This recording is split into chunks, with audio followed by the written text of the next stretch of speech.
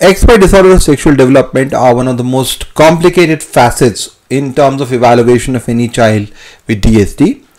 It really requires a lot of clinical, laboratory and genetic evaluation and despite that it remains a challenge as a large chunk of these individuals remain undiagnosed with significant implications in terms of their diagnosis as well as prognosis. So we'll be focusing on the why, what and how of XY disorder of sexual development. So if you look in the whole scheme of things, XY DSD comprise, comprise a significant proportion of children who present with disorder of sexual differentiation and after excluding 21 hydroxylase deficiency they by large represent a very large section and importantly the genetic diagnosis could accurately be identified in only 20% of cases.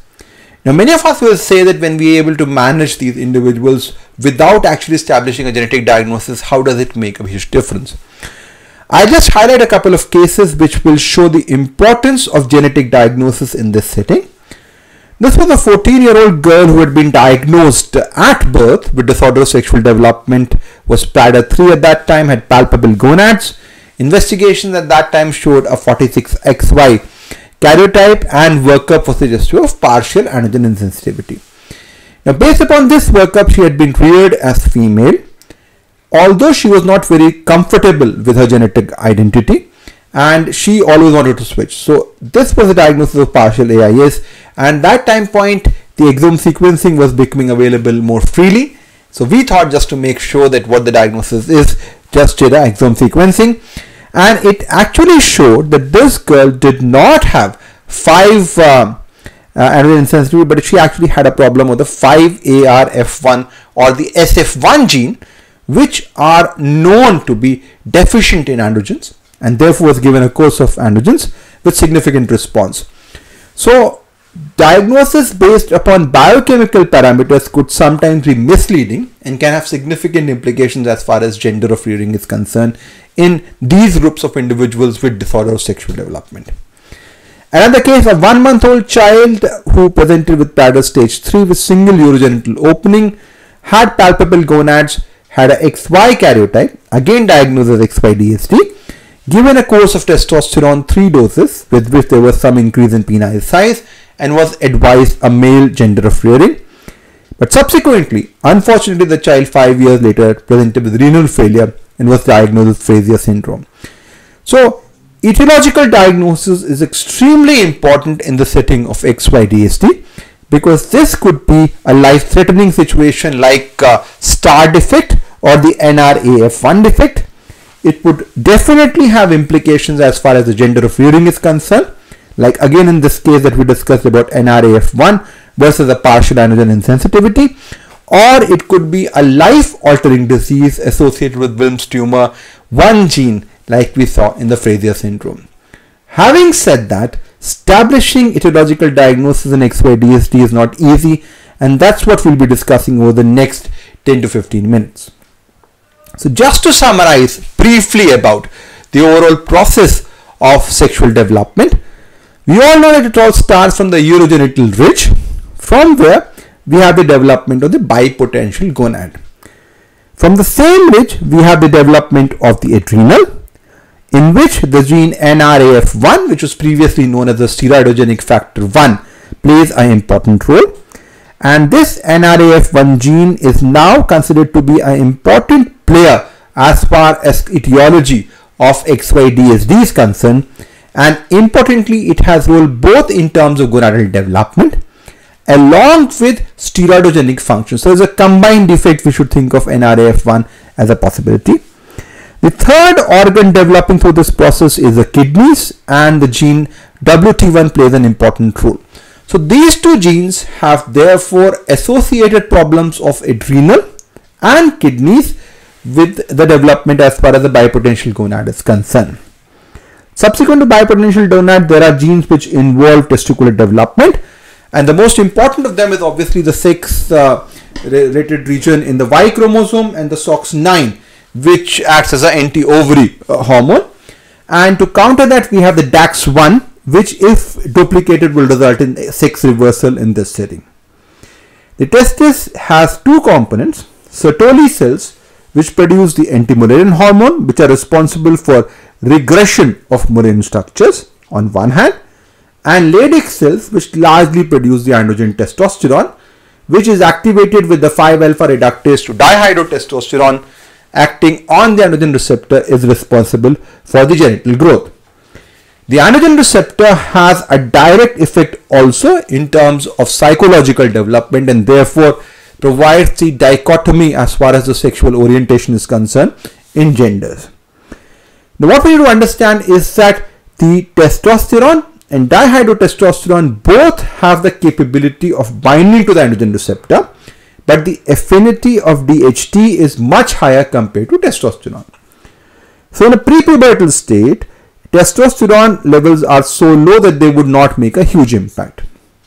But once puberty happens, the levels may really increase to a high level and they can then overcome the effects of DHT deficiency and cause virilization. So disorders like partial androgen insensitivity syndrome, 7 beta beta HSD syndrome in which the testosterone or the other androgen precursors may rise and they can act on this receptor to cause virilization during puberty and that is an important thing to consider in terms of evaluation subsequently. Now the other player which plays an important role is the insulin-like factor 3 which is responsible for testicular descent. So in this overall picture XY disorder sexual development can happen in disorders associated with problems with gonadal development, function or hormone action. And in this regards, NR5A1 is now emerging as an important factor and many of these individuals may actually have a normal adrenal function. So it's not essential to have an adrenal issue in this regards uh, when you have an NR5A1 situation. WT1 is an important cause of XYDSD and the presentations can vary from anything like a Wilms tumor situation to a Frasier syndrome or Denys-Drash syndrome which is a complete sex reversal syndrome. These individuals have a high predisposition of renal failure and therefore need to be monitored carefully in this situation. DAX1 duplication can cause the situation and it's an important cause to identify particularly if you're thinking of a XY reversal. SRY remains an important cause, but it would only be able to explain around 10% of all causes of XYDSD. Then we come to the gonadal function part and there are two parts of it. So there's a Sertoli cell problem of AMH production or AMH action. There would be a situation of persistent Mullerian duct situation in which we'll have both gonads as well as Mullerian ducts. On the other hand, if there is a testosterone synthesis problem or a 5-alpha reductase deficiency or an androgen receptor defect, there will be manifestations of these regards. In all these situations where either the gonads are not functioning well or the androgens are not working, typically the gonads will be palpable, they will be round and looking like testes and this helps us differentiate them from the classical situation of gonadal development problem. These steroidogenic problems are important to identify because many of them can have associated adrenal issues and therefore understanding of steroidogenesis is important. The initial step is the conversion of 7 dihydrocholesterol to cholesterol under the influence of DHC7 and this is subsequently converted to pregnenolone under the effect of star and side chain cleaving enzyme which then are acted upon a group of enzymes which act both at the level of adrenals and testis, namely the 3-beta-HSD2 and CYP17 and oxidoreductase to androstenedione which then is converted into adrenals to different uh, steroids of aldosterone, cortisol and DHEAS. While this is subsequently worked upon on the Leydig cell by 17 beta HSD to be converted to testosterone which is then activated by a 5-alpha reductase enzyme to dihydrotestosterone. So depending upon the level of blockage, the manifestation of these disorders will vary. So we can have also a problem at the level of a LHCG receptor, which is the receptor pathway for the action of HCG and LH on the Leydig cell. What's important to understand is that LH role is largely taken over by HCG during the antenatal period. So classically individuals who have complete LH deficiency in the setting of Kallmann syndrome or hypopituitarism would not have any problems with regards to sexual development because HCG will be taking care of their action and they would have problems predominantly in the setting of micropenis in that regards. But if there is a receptor problem for both L, LH and HCG, they would definitely present as a XYDSD picture. So in this regards, the problems can actually be at the level of a combined steroidogenic defect presenting with low androgens as well as salt wasting. At the level of adrenals in which the androgens will be normal and there will be salt wasting which basically will not come in the purview of XYDSD. Plus you will have situations in which androgen levels are low but without salt wasting. So identifying the level of defect becomes extremely uh, important in terms of evaluation and management of XYDSD. Important causes in this regards include the star and the side chain cleaving enzyme which produced with severe salt wasting crisis and in certain situations even the sex reversal. Smith-Lemli-Opitz syndrome in which the cholesterol synthesis is defective also associated with the syndactyly and uh, other clinical features are quite evident. A combination of 3-beta HSD or a um, oxidoreductase deficiency which presents with salt wasting and CYP17 which is associated with production of increased uh, mineralocorticoid action resulting in hypokalemic alkalosis and hypertension. On the other hand, 17 beta HSD is an important cause which presents with complete sex reversal where there may be virilization a bit during pubertal changes or the LHCG receptor which also presents with decreased synthesis of testosterone in the setting of high levels of other androgens. So from a clinical standpoint, XYDSD can be distinguished into one which is caused by disorders of gonadal development or because of gonadal function. Gonadal development problems could be genetic, out of which SRY, NR5A1 or SF1, SOX9 and WT1 play an important role, or vanishing testis, which basically is a diagnosis in which there is no palpable testis and there is no production of AMH which can be detected. Gonadal function problem could be because of steroidogenic defects on various pathways, problems of testosterone action, either 5-alpha reductase deficiency or androgen insensitivity syndrome, or a problem of AMH production or action. Steroidogenic defects could be at the level of testes, in which most common will be LHCG receptor or 17 beta HSD receptor deficiency or a combined effect in which the whole steroidogenic pathway can be affected starting from Smith-Lemli-Opitz syndrome to lipoid adrenal hyperplasia to 3 beta HSD and CYP17 alpha which presents with undervirilization and so and hypertension and hypokalemic alkalosis. So in that whole background of gamut of causes, now we will discuss about how to proceed to an individual with XYDSD. So when a physician is faced with a child with XY disorder of sexual differentiation, the three questions one need to answer is whether there is a problem of gonadal development or gonadal function. If it's a gonadal function problem, is it because of impaired production of androgens or impaired action? And finally, whether it is a combined defect or isolated defect of steroidogenesis or it's a 5-alpha reductase versus androgen insensitivity. So to answer the first question, clinical examination will give us a significant clue. If there is a palpable gonad, it is most likely a problem of gonadal function. So gonads have been formed, it's not gonadal dysgenesis. It will be a round, typical testicular appearance and it's not functioning. So that will be a key indicator. Similarly, if the Mullerian structure is present, it's unlikely to be a gonadal function problem unless we are talking of a AMH problem. So a typical steroidogenic defect or a 7 or a 5 alpha reductase deficiency or androgen sensitivity all of them will have AMH production and will not have Mullerian levels and therefore AMH levels also help us make a diagnosis. Some clear-cut clues to etiology can be there. So if uh, we have a skeletal dysplasia that is indicative of SOX9 defect, salt wasting crisis could be an indicator of uh, NR5A1 mutation in this setting and If there is an abdominal tumor, we should think of a Wilms tumor 1 situation if you're thinking of a gonadal dysgenesis. Once we have excluded the problem of gonadal dysgenesis, the next question is whether there is a problem of production or action of androgens. And in this regards, we need to understand the whole endocrine pathway, particularly the timing of sample becomes important.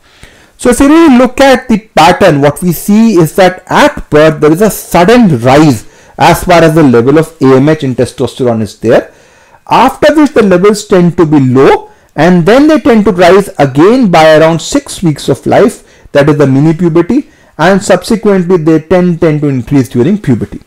So depending upon the timing of sample, we have to remember whether you want to do a basal sample or a stimulated sample. So if we are picking up a child in the first day of life, in 24 hours of life, that is the best time to do all the androgen samples. But if we have missed the boat, we then should think of a later age, which is the mini puberty, or we should think of a possibility subsequently that will be around pubertal stage group. If we have missed that boat, we should do a stimulated test and in that regards HCG stimulation test with 1500 international unit per meter squares of HCG with measurements at day 1 and 3 are recommended and we should have a look at the androstenedione, testosterone and a dihydrotestosterone level which will really give us in terms of information of the diagnosis. It's also important to understand that particularly in the first month and maybe in the first six months of life because of significant issues of extraction and extracted samples it is the GCMS technique which is much more reliable compared to the classical chemiluminescence assay. So if we have the facilities available, if you are measuring on day one of life, it's GCMS which is the ideal technique for evaluation of these steroids. Now once we have got these tests done, we can then decide about the etiology based upon the various uh, hormone levels. So if we have low levels of androstenedione, testosterone and DHT, it means a number of steroidogenic defect being the LHCG receptor, STAR, beta HSD, oxidoreductase, CYP17 or citrate cleavage. On the other hand, if the androstenedione levels are high, and we have low levels of testosterone and DHT, it means that the conversion of androstenedione to testosterone is defective, most likely in the setting of 17 beta hydroxydehydrogenase, and the ratio becomes important.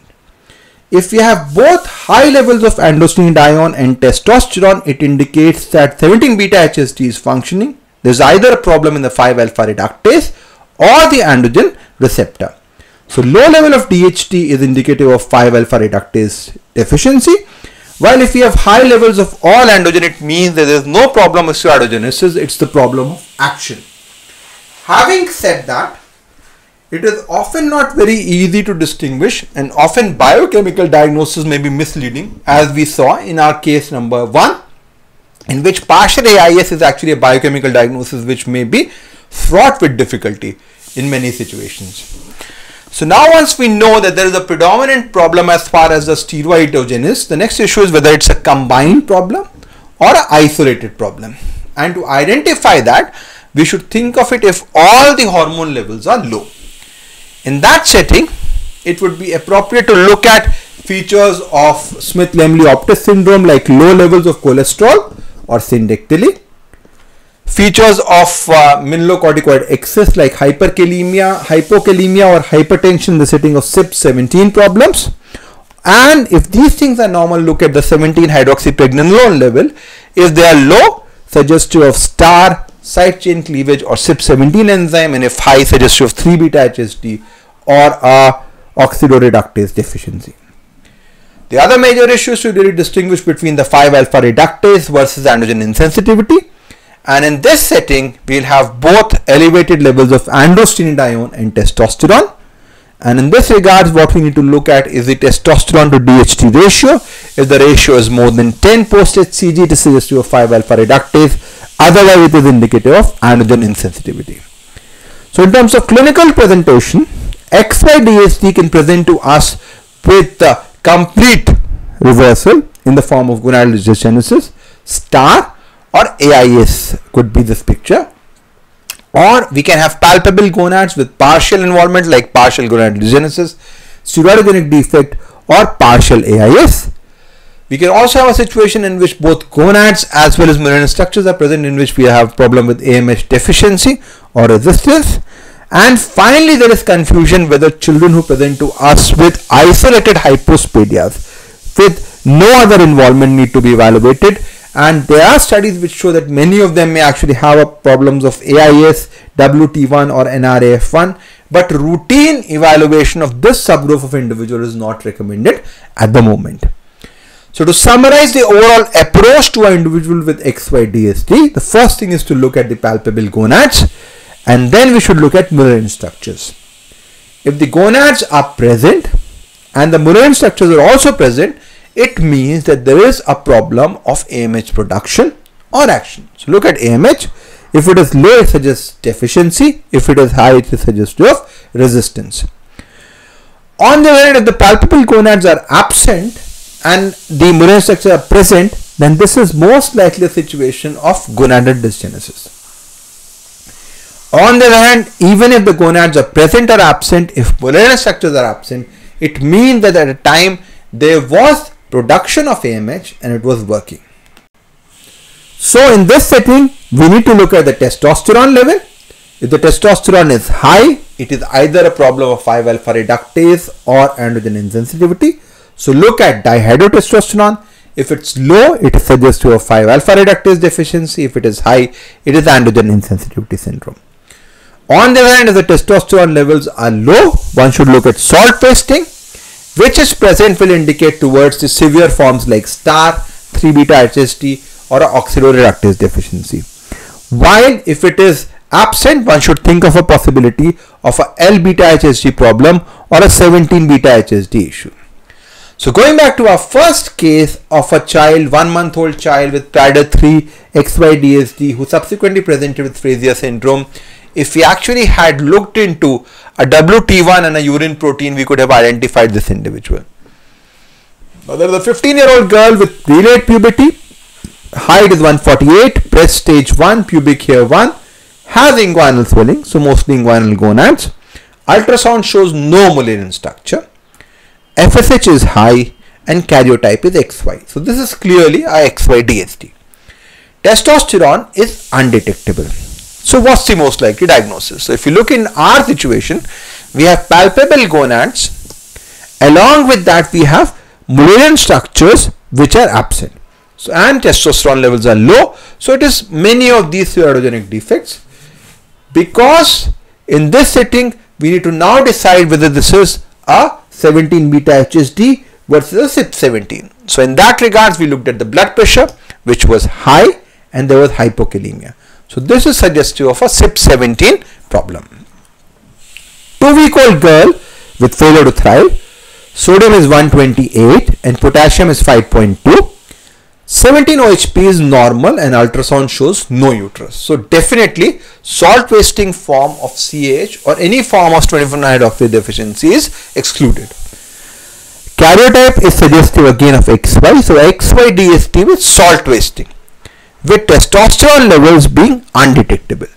So we again have a palpable gonad which we don't have a mention here but the Mullerian structures are absent and we see a low level of uh, uh, testosterone so we have to think of a steroidogenic defect in which there is a combined salt wasting in the form of star, SF1, oxidoreductase or 3 beta HSD in this case, we found that there was syndactyly. So this is confirmatory of a diagnosis of Smith-Lemli Opitz syndrome.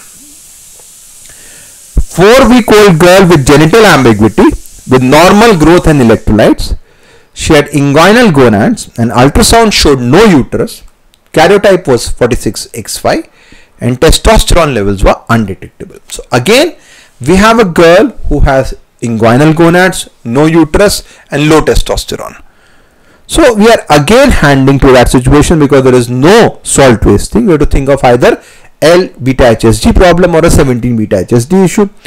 Look at low androstenedione ion levels which confirmates that this is a LHCG receptor defect.